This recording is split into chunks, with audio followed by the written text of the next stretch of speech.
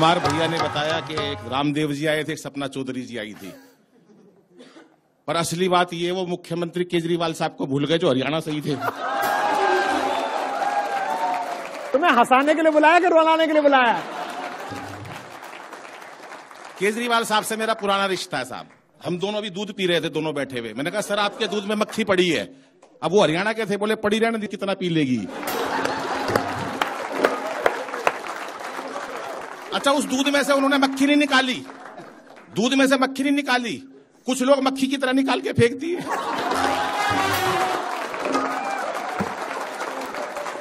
विशेष बातें हो जाती है साहब।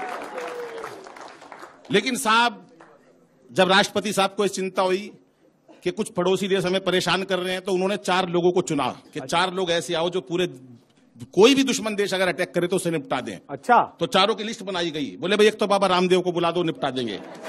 बोले भाई बाबा रामदेव कैसे निपटा देंगे दुश्मन देश को? बोले उन्होंने बड़े बड़े उद्योगपति निपटा दिए।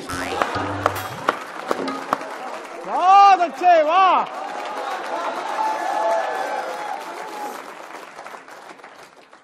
बोला एक कुमार साहब के मित्र को बुला लो। केजरीवाल जी को एक जना बोला भाई केजरीवाल साहब पाकिस्तान को या किसी दुश्मन देश को नहीं निपटा सकते। एक समझदार आदमी बैठा था बोला निपटाएगा नहीं कम से कम दुखी तो कर देगा। बहुत अच्छे। उन्हें बुला लिया साहब। तीसरे बोले तीसरे किसको बुलाओ? बोले तीसरे राहुल जी को बुला दो निपटा देंगे दुश्मन देश को। बोले भी राहुल जी में इतनी शक्ति नहीं उन्हें निपटा सकते। बोले जिसने डेढ़ सौ साल पुरानी कांग्रेस निपटा दी वो एक मिनट में निपटा देंगे। और चौथा आदमी आपको लगे कि आपको आपकी तालियाँ चाहिए। चौथा आदमी उनको चाहिए था तो चौथा आदमी भाई साहब फिर मेरे को बुलाया। अब चारों लोगों ने पाकिस्तान को या किसी भी देश को दुश्मन देश को कैसे निपटाया साहब सुनिएगा। हाँ। कि रामदेव बोले यदि अपनी पे आ गया तो। हाँ। सुनो बहन जी आप पढ़ी लिखी लग रही हो। कि रामदेव बोले यदि अपनी पे आ गया तो पेट की तरह तुझे घुमा के मार डालूँगा। रामदेव जी का जलवा है साहब अभी एक दोस्त मेरे पर रोते हुए आया। हाँ। बोला यार दादाजी गुजर गए। मैंने कहा क्या हुआ? बोला बाबा रामदेव ने मरवा दिया। मैंने कहा तेरे दादाजी रामदेव जी ने कैसे मरवा दिए बोले यार टीवी के सामने योग सीख रहे थे सुबह चार बजे। बाबा बोला जैसे जैसे कहूँ वैसे वैसे करते जाना। दादा मेरे भोले भाले। बाबा बोला सांस खींचो।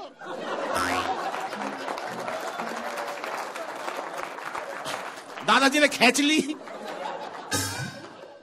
बाबा बोला, और खेचो। दादाजी ने यहाँ तक खींच ली।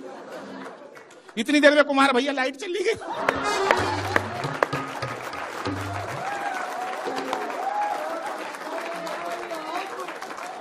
थोड़ी देर में भगवान ने मेरा दादाजी खींच लिया।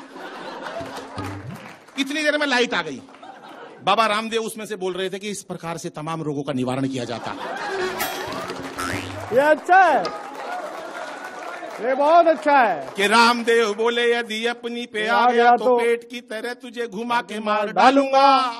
और केजू केजरीवाल साहब और केजू बोले और केजू बोले अपने ही मफलर से तेरा मैं घोट दूँगा गला और दबा के मार डालूँगा।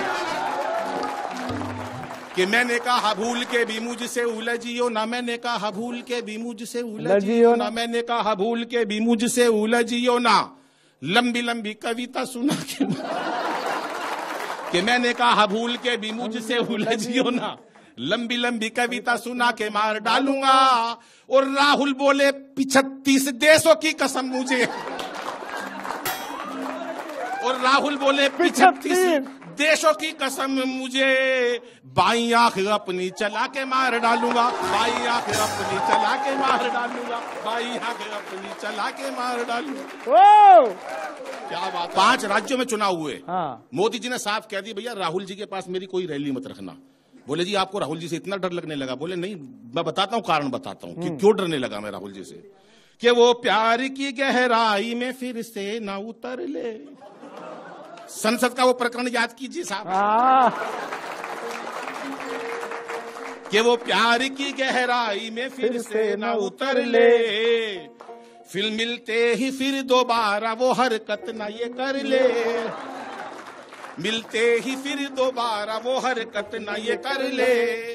संसद में भी आने से वो कतराने लगे हैं। संसद में भी आने से वो कतराने लगे हैं। मोदी को डर है फिर कहीं बाहों में न भर ले। मोदी को डर है फिर कहीं बाहों में न भर ले। मोदी को डर है फिर कहीं बाहों में न भर ले। मीडिया ने भी सवाल किया। अच्छा। बोले भाई किस किस को प्रधानमंत्री बनने की इच्छा है? हाँ। तीन चार लोग आ गए। अपनी अपनी बात बताई। सुनिएगा साहब। सही है। कि अखिलेश बोले इस दफ़ा साइकिल को ले आओ। हाँ। अखिलेश बोले, इस दफे साइकिल को चलाओ। मायावती ये बोली, अब के हाथी को लाओ। मायावती ये बोली, अब के हाथी को लाओ। राहुल जी मीटू मीटू कह के दौड़ के आए।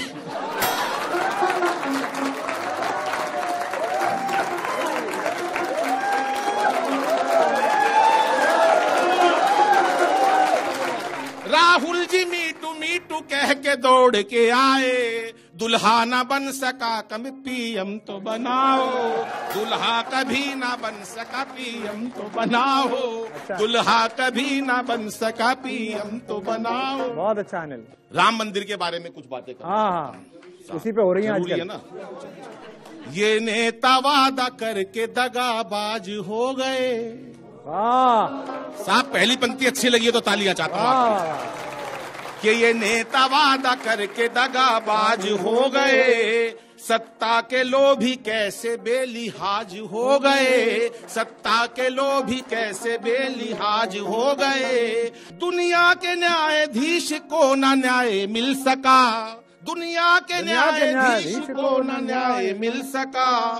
मंदिर बनाने के लिए मोहताज हो गए। मंदिर बनाने के लिए मोहताज हो गए।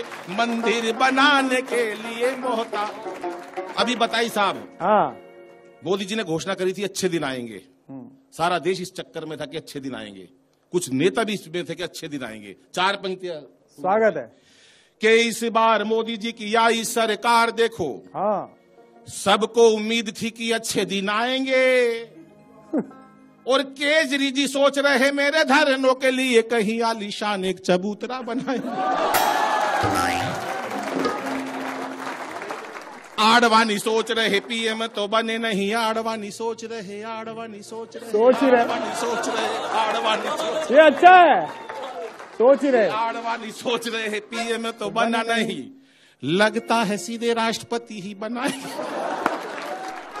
कि आडवाणी सोच रहे हैं पीएम तो बने नहीं। लगता है सीधे राष्ट्रपति ही बनाएँगे। और राहुल जी बोले नहीं कांग्रेस पे भरोसा। लगता है शादी मेरी मोदी जी कराएँगे। लगता है शादी मेरी मोदी जी कराएँगे। लगता है शादी मेरी मोदी जी कराएँगे। लगता है हरियाणा की बात करी भाई साहब ने, हरियाणा का बच्चा भी बहुत हाजिर जवाब रहता है। वो एक बच्चे का रिज़ल्ट आया। पिताजी ने पूछा, अभी बेटा तेरा रिज़ल्ट का क्या हुआ? बोले, होना क्या था? वो कुमार विश्वास कर लगा फेल हो गया। अरे बोले, कुमार विश्वास कर लगा बोले, तेरा क्या हुआ? बोले, जी, केजरीवाल जी का बेटा फेल हो गया। बोला, केजरीवाल जी का हो गया, कुमार विश्वास जी का हो तेरा पूछ रहा हूँ भाई, मैं तेरा क्या हुआ? बोला, पिताजी, फिर तू कौन सा नरेंद्र मोदी है? तेरा भी नहीं मट लिया आपकी हरियाणा की मस्ती अलग होती है साहब। वो एक बाबा जी किसी के घर पे चले गए। हाँ। उन्होंने कहा बाबा जी नया नया बच्चा पैदा हुआ इसका जरा बताना भविष्य क्या है? उन्होंने बच्चा देखा बोला हो इसके तो माथे का तेज बता रहा हाथ की रेखाएँ बता रही हैं इतनी बहादुर है बड़ी होकर झांसी की रानी बनेगी। अरे बोला बाबा ये तो छोरा है! बोला छोरा है तो महाराणा प्रताप बन जाएगा। वहीं से साहब मैंने एक कविता अच्छे। आजकल के बाबा पहले के जो ऋषि मुनि थे बाबाओं से जिनसे संस्कृति चलती है उनके चरणों में प्रणाम करता हूँ लेकिन आजकल के कुछ बाबाओं ने कुरीतियों से इस देश को कहीं ना कहीं नीचे पहुँचाया है। मैं बाबाओं के लिए एक व्यंग पढ़ता हूँ साहब जो भ्रष्ट बाबा है जो करप्ट बाबा है। कि एक मित्र ने पूछा यार क्या करूँ? आजकल काम में बहुत मंदा है। हाँ। एक मित्र ने पूछा यार क्या करूँ? आजकल काम में बहुत मंदा है। मैं बोला बाबा बन जा कम लागत में सबसे अच्छा धंधा है। मैं बोला बाबा बन जा। कम लागत में सबसे अच्छा धंधा है। वो बोला यार लेकिन मैं तो शादीशुदा हूँ ये बड़ी कठिनाई है। मैं बोला तू एक से घबरा गया एक आधे बाबा की तो कई कई लुगाई है। एक मैं बोला तू की एक तो से घबरा गया एक आधे बाबा की तो कई कई लुगाई है। एक लंबा सा तिलक लगाकर दाढ़ी बढ़ा ले हाँ। फिर चाहे किसी को भी मूर्ख बना ले। हाँ। एक लंबा सा तिलक लगाकर दाढ़ी बढ़ा ले फिर चाहे किसी को भी मूर्ख बना ले। और मेरी मेरी मान मेरी माने तो एक काम कर तू कोई सा एक भगवान पकड़ ले। कोई सा एक भगवान पकड़ ले उसकी सारी कथाएँ मुँह जवानी रट ले। हाँ। उसकी सारी कथाएँ मुँह जवानी रट ले दो तीन संस्कृत के श्लोक और चार पाँच आरती याद कर लियो। ढोलक मजीरे वाले की ज़रूरत पड़े तो यार मेरे को धर लियो। ढोलक मजीरे वाले की ज़रूरत पड़े तो मेरे को धर लियो। वैसे भी तो पब्लिक को केवल आँख मूंद कर गर्दन हिलानी है। वैसे भी पब्लिक को तो आँख मूंद कर केवल गर्दन हिलानी है। उन्हें नहीं पता कौन मूर्छित पड़ा और बूटी किसको लानी है। उन्हें नहीं पता कौन मूर्छित अच्छा पड़ा है। और बूटी किसको ये बहुत अच्छा है। उन्हें नहीं पता। बहुत बढ़िया।